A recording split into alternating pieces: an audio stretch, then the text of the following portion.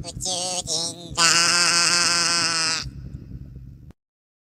扇風機とは、モーターの軸に羽をつけ、その羽を回転させることによって生じた風を、直接人体に当てることで熱を奪い、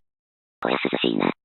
なんて思わせてくれちゃったりする、エアコンやクーラーがなかった時代の夏の主役なのでございます。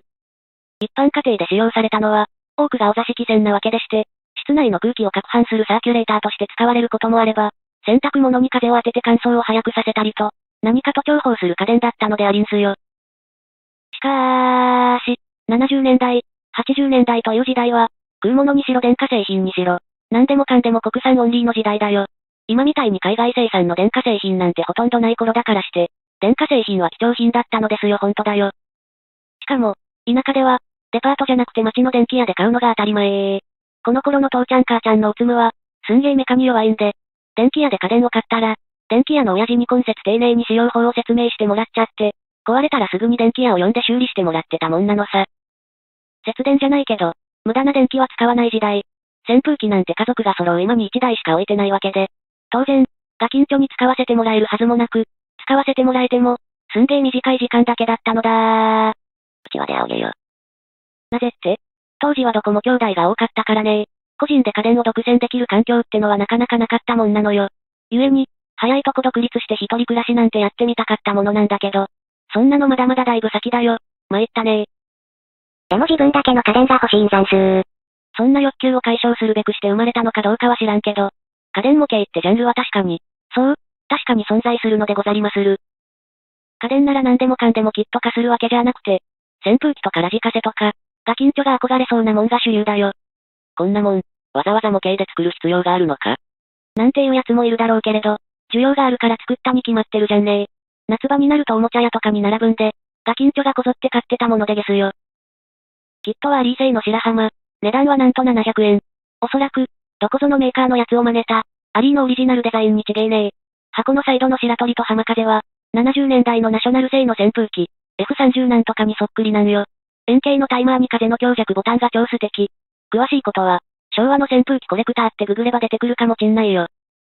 扇風機のプラモは、当時、流通量が多かったカープラモと同じサイズのモーターを搭載するんで、そのサイズに合わせてキットを開発しているのでございます。トップヘビーになるんで、土台にある電池ボックスでバランスをとっていたんだよ。モーター付きとはいえ700円。これに電池を買わなきゃならんけど、アニメのプラモデルとかじゃないんで、買ってもらえる可能性も高かったりした問題。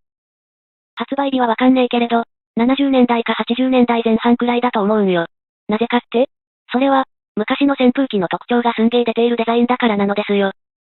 最近の扇風機のガードの部分は、ほとんど塗料でコーティングしてるじゃん。昔はシルバーだけだったんよ。金属の地のままかメッキでコーティングしてあって、金属感バリバリだったものなんだい。ガードの網の間隔も広くて、指やらポッキーやら入れて遊んだもんですよ。赤ちゃんがいるうちはネットをかぶせて使ったもんなのさ。扇風機をつけたままで寝ると死んじゃう。とか、親やじいさん連中がよく言ってたりしたもんさ。死んだ野郎は知らんけど、具合が悪くなる奴は本当にいたりしたもんで、扇風機メーカーが真剣に対応して、タイマーやら、常備風やらの機能が後に追加されたってわけですぜ。楽しみ方は作って進むだけだよ。他に何があるって言うんだい？接着する部分やコードをつなぐ部分があるんだけれど、当時のガキンチョはこんなん慣れっこなんでもう満体。正直、うちわで仰いだ方が涼しいんだけどもね。モーター動力内蔵のプラモデルは何でも人気があったんで、ついつい買っちゃうやつは多かったものなのさ。ここで注目。この動画を見てるんなら多分モデラーかとは思うんだけど、このキットでスケール感がおかしい部分があるのがわかるかな？いやさ、わかるよねモデラーとして許せない、気持ちの悪い部分は一体どこですかって話だよ。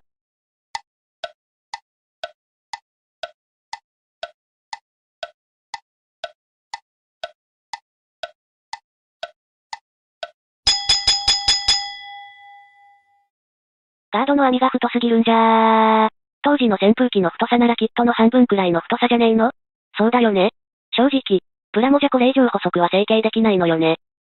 メッキを剥がすために、キッチンハイターにつけるのはいいと思うんだけどもね。これってクリアでコーティングしてんのかね？シンナーのお風呂につけたりしたら、こんな細いパーツ一発でおだぶつ台。バリを削って、メッキのマーカーかなんかでリタッチして済ませましょうよ。あーんて、当時のモデラーはやらなかったわけですぜ。じゃあどうしたかっていうとね網の部分の細さと質感を表現するためには、当然、網の部分を金属線に置き換えるっきゃないのだつまりだよ、金属線を一本一本曲げてだよ、接着剤かハンダとかでくっつけたってわけだよ。バないねえ。コーティングはハンダを溶かして塗りたくるパティーン。こんなのモデラーにしかできません。いやさ、モデラーしかやりません。でもねえ、俺が見た作例は、普通に作った方が良かったんじゃねえの？みたいな非出来のものばかり。先輩モデラーのとほほな作例に、ただただ恐れ入ったのでござんすよ。次回のキットは、これだ。